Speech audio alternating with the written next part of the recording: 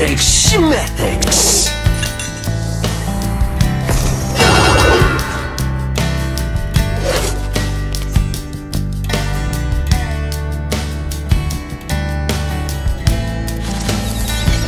Don't perform human experiments, they said. It's crimes against humanity, they.